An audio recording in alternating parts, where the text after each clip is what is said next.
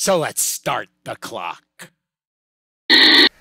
Now in its fourth year, the 2021 Application Protection Report is our effort to boil down the application security risk lands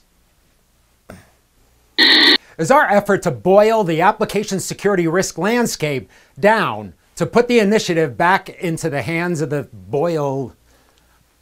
So let's start the clock for a little extended edition of some of the, some of the highlights is our effort to boil the application security landscape. Ransomware grew enormously during 2020. In 2019, all malware was was was was was was Formjacking accounted for more than half the US configuration management and change control. Based on the breach analysis, the most important controls to deal with the threat To learn more about or download your own copy of the 45 page 2021 Application Protection Report, visit f5labs.com. I'm Peter. Thanks for watching, liking, and smashing that subscribe button.